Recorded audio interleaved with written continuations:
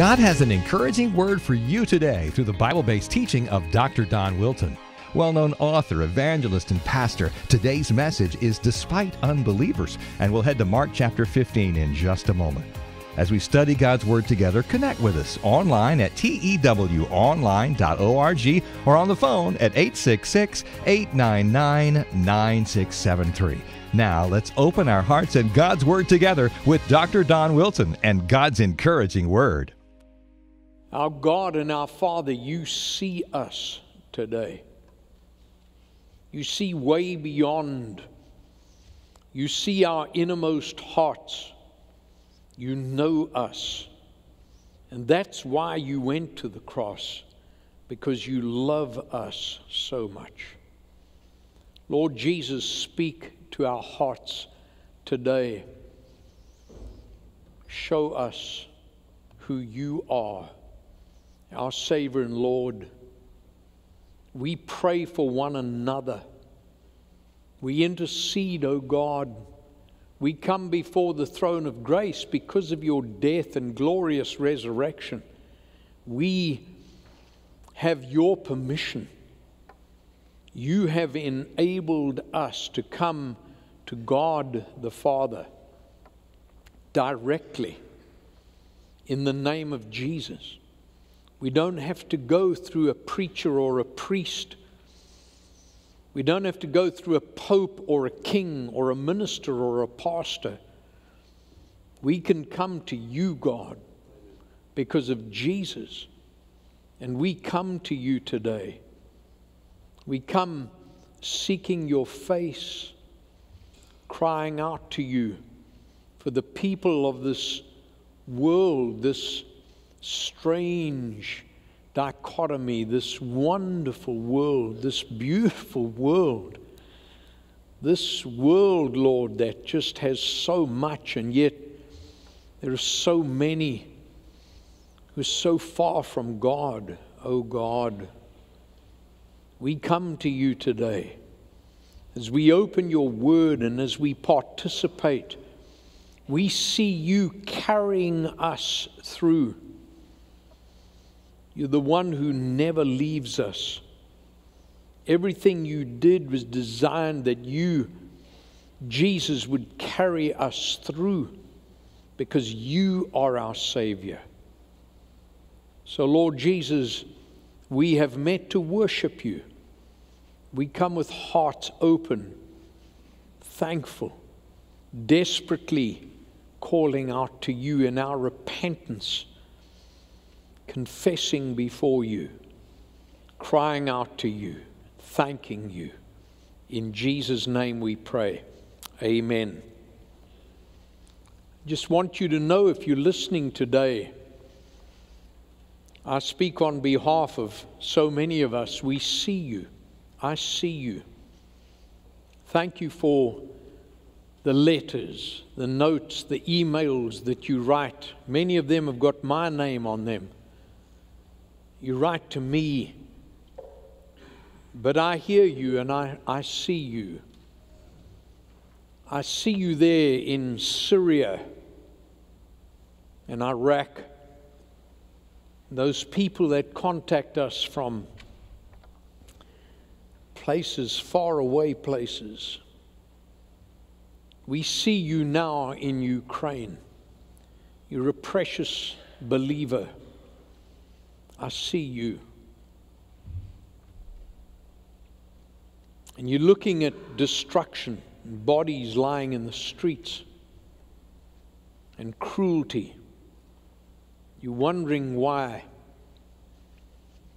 And we gather together and we we're meeting together around the Lord Jesus today. It's in His name. You know, this past week, I'm so proud of our, of our students here in Spartanburg who fanned out to venues and sites from New Orleans to Kentucky and even in our own city of Spartanburg. Scores of our young people just magnificent.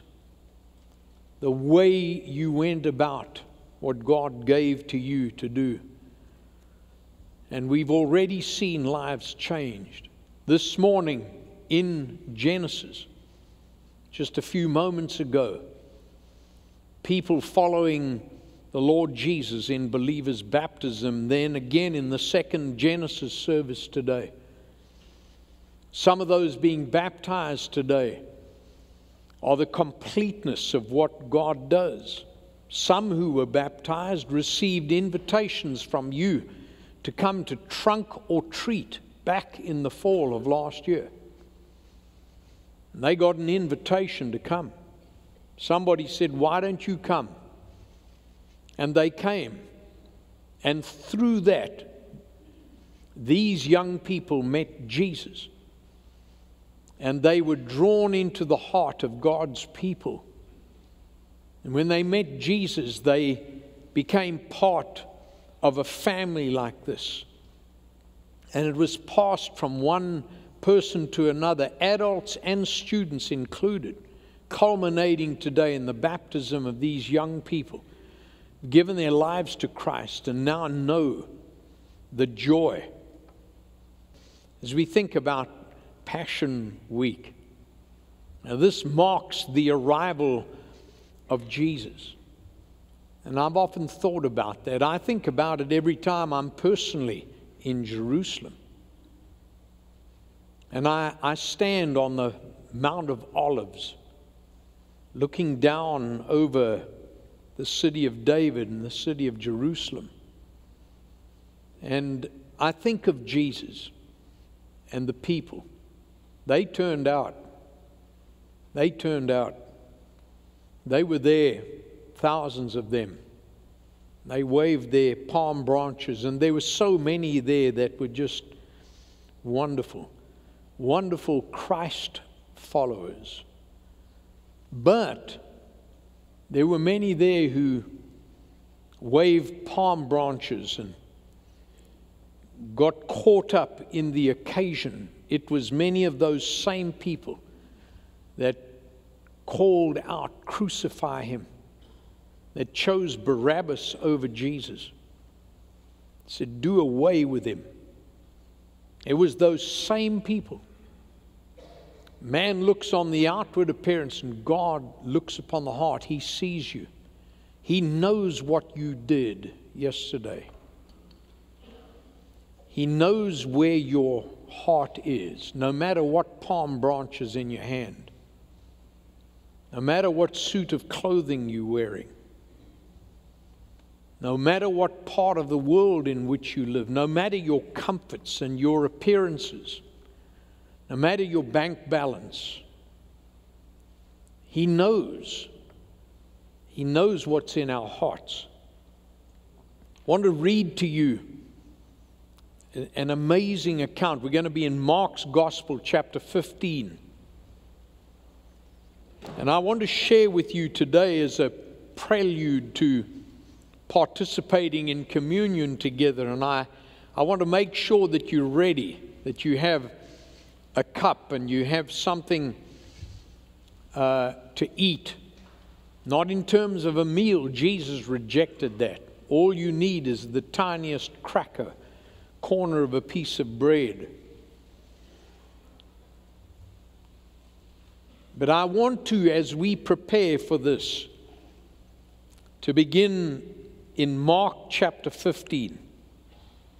The Bible says, as soon as it was morning, the chief priests held a consultation with the elders and the scribes and the whole council.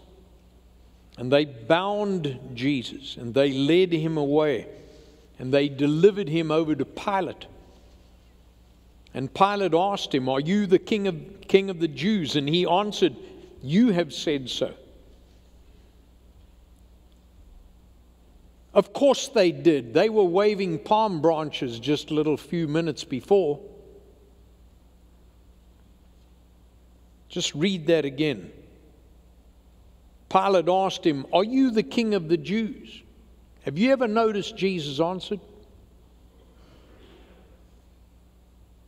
Well, evidently, you the ones who said so. You were all standing there cheering when I arrived. Verse 3 And the chief priests accused him of many things.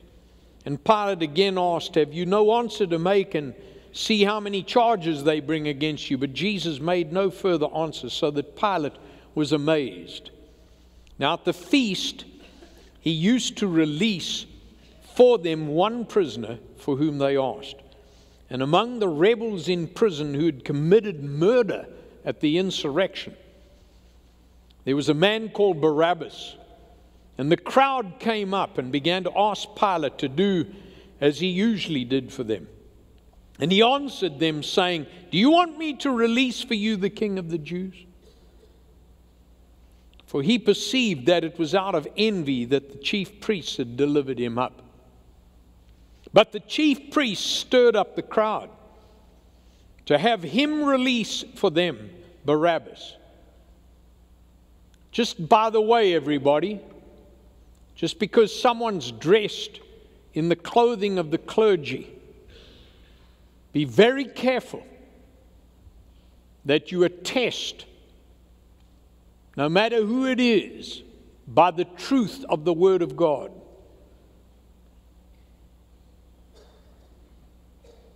But the chief priests stirred up the crowd to have him release for them Barabbas instead. And Pilate again said to them, And what shall I do with the man you call the king of the Jews?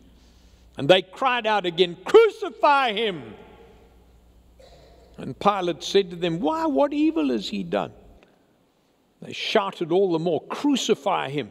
So Pilate, wishing to satisfy the crowd, released for them Barabbas, having scourged Jesus. He delivered him to be crucified.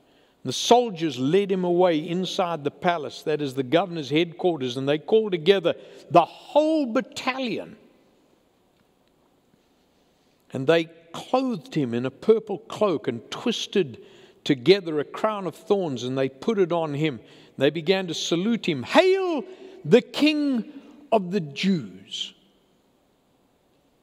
And as they were striking his head with the reed and spitting on him and kneeling down in homage to him, and when they had mocked him, they stripped the purple cloak and put his own clothes on him.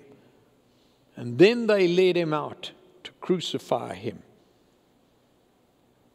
I have an unusual title to this Lord's Supper.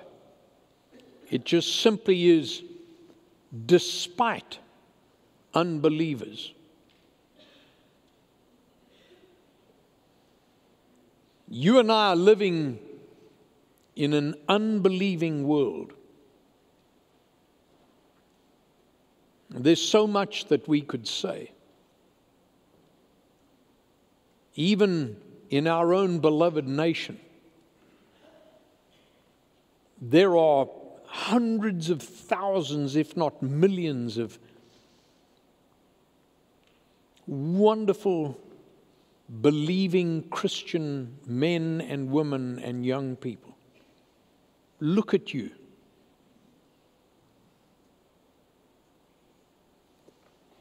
Just look at you.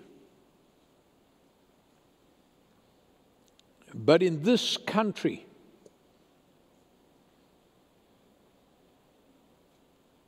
We are surrounded in our communities by hundreds of thousands of those who stand and cheer, but who don't believe.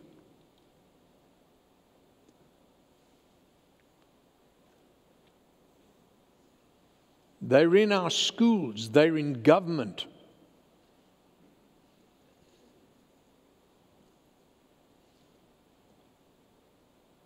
We got thousands of people who will blaspheme the name of Jesus one minute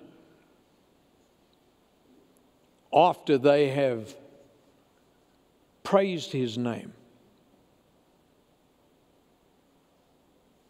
And the pictures here, and Jesus knew that.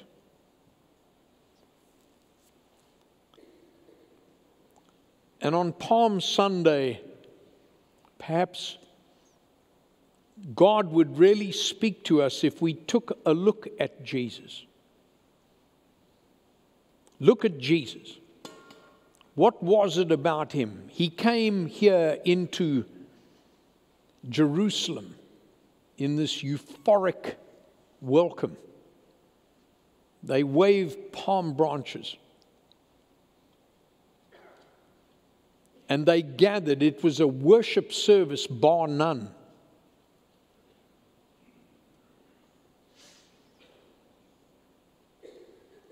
The next minute, these same people did four things to him. Number one, they bound him. That's what the Bible says, even in verse 1 here. The same one that they had been welcoming, they bound him, they tied him up. When I began to study that, God was showing me something. Mankind tried to restrict Jesus. Tie him up. Reduce him. Hold him back. It's what usually happens if police sadly have to put handcuffs on you. It's designed to stop you being able to get away. Somehow, this unbelieving world thought that they could bind the Son of God and stop him from carrying out whatever it is that he was, because they actually acknowledged him. Second thing they did was they bullied him. From verse 2 here in Mark's Gospel, particularly verse 2 and 3, they bullied Jesus. Bullying is one of the most heinous things that bullies do to people they want to bring down and belittle.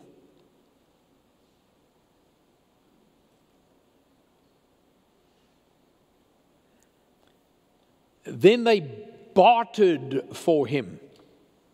In verse 6, they said, Well, let's do a trade. Let's swap Jesus. Let's put him on the auction block.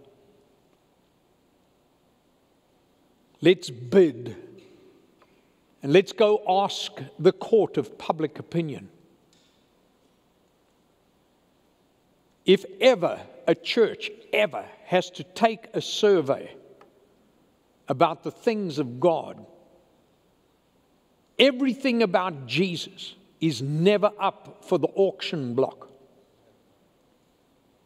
It's never open to debate. The highest bidder is never placed in the hands of public to determine the lordship of Christ. And the fourth thing they did to him was they bruised him. Verse 15 through 20, they beat him relentlessly, mercilessly. Bible says he was bruised because of our sin bruised for our transgression. And you and I sometimes unintentionally we recoil from the horror of the beating and the bruising that the Son of Man took upon the cross. In all likelihood, the bruising that he received rendered him almost unrecognizable. It was most likely, considering the nature of a cat o' nine tails, which was used, which was designed to inflict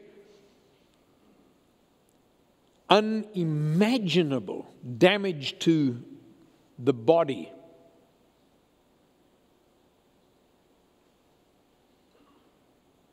Rendered the Lord Jesus Christ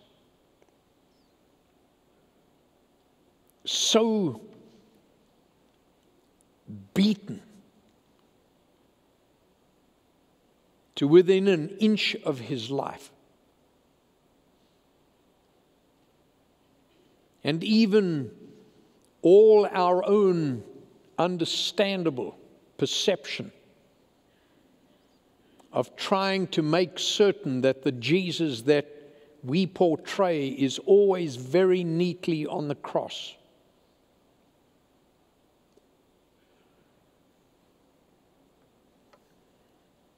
These people hated him so much, they took out their venomous hate and anger against him.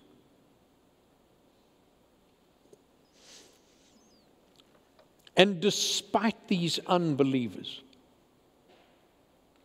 with all of that, despite this, Jesus saw them.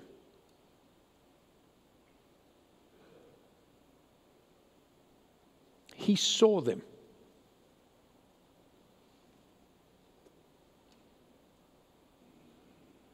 There was not a moment from his arrival in Jerusalem as they waved those palm branches that Jesus didn't see them.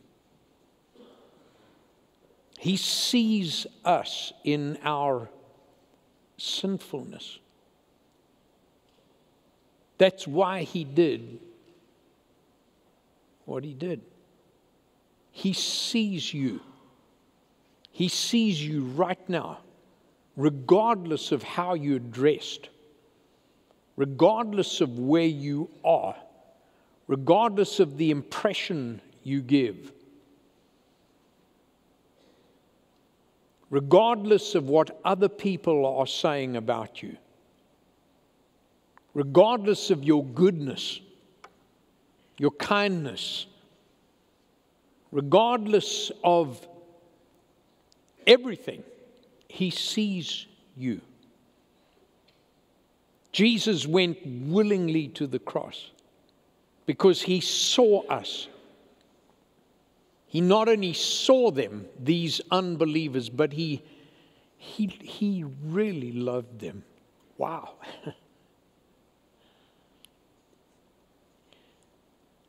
I find myself saying in, in a human way, which is so inadequate, you got to seriously love somebody to do what Jesus did after they did what they did to him.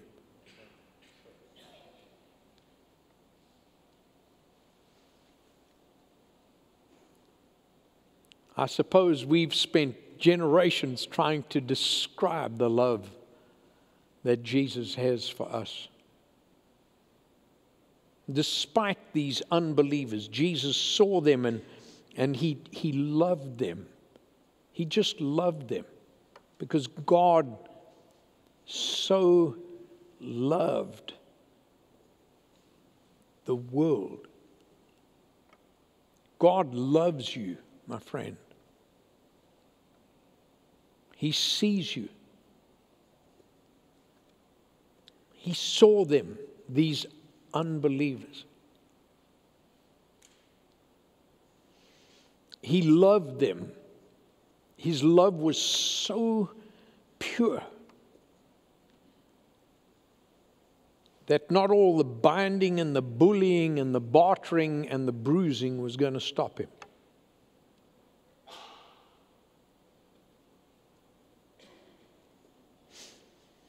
He saw them, he loved them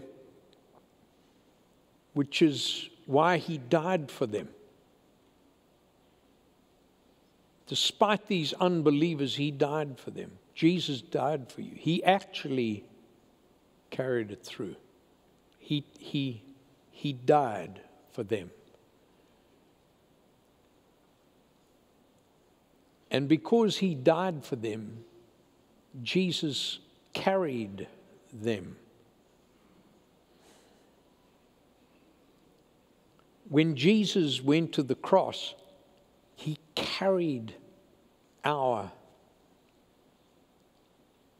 sin, our hate, our antagonism, our struggles, our hypocrisy, our, the battles, the he carried he carried us. He carries us. He took all of us, this unbelieving world, and he went to the cross and he died. He gave his life for us. Sometimes we just acknowledge the history of that fact that Jesus died. But the reality is what we believe to be true. He rose from the dead. He's alive, living in me now, and He can live in you, empowering you to bring dead things back to life. God is ready to resurrect your relationship, your marriage, whatever's going in your life. God is ready to begin fresh with you if you'll say yes. If you've never given your life to Christ, let me lead you in a simple prayer right now. You can repeat the words after me or just say, Me too, God. Lord Jesus, I ask you to save me. I believe you're the Son of God. I believe you can save me. You died and rose from the grave, so I just turn my back on my sin and ask you to lead me. Be in charge of my life. Give me the strength. In Jesus' name I pray. Amen. It really does start with just that simple confession of faith I pray that you would know that you're not alone in this walk. We would love to walk alongside you, pray with you. The angels are rejoicing with your decision to give your life today or perhaps to rededicate your life today to Jesus Christ. We have resources Dr. Don has prepared for you. We'd love to put them in your hands absolutely free if you'll pick up the phone and call that 866 899 word number. It's available 24 hours a day. Take a snapshot of the screen or jot it down 866 899 9673. We would love to pray with you and connect you with those resources today.